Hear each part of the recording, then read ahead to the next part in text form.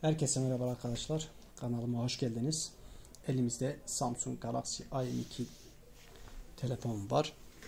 Bunun ekranı ekran görüntüsü nasıl çekilir onu göstereceğim size. Şöyle açma kapama bir de ses kısma tuşlarına basıyoruz. Ekran görüntüsü çekiyor. Şöyle ekran görüntüsü çekti.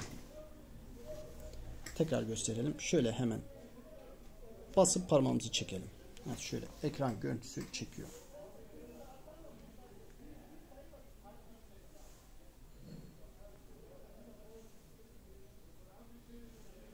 Evet şöyle ekran görüntüsü çekiyor.